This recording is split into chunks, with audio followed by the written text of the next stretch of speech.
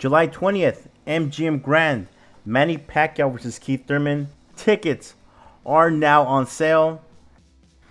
Ticket prices do start at $100, $200, $300, $500, $750, $1,000, and front row, very front row, $1,500 a piece. The rumored card is supposed the rumored card. The card is rumored to be this. The card is subject to change.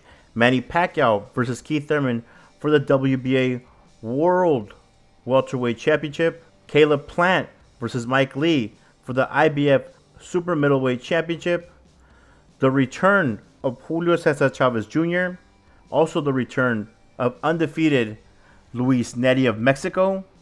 Sergey Lipinets versus John Molina Jr. and Yordenis Ugas versus Omar Figueroa in a WBC welterweight title eliminator. That is a stacked ass card. Even for $1,500 front row, that is not bad at all.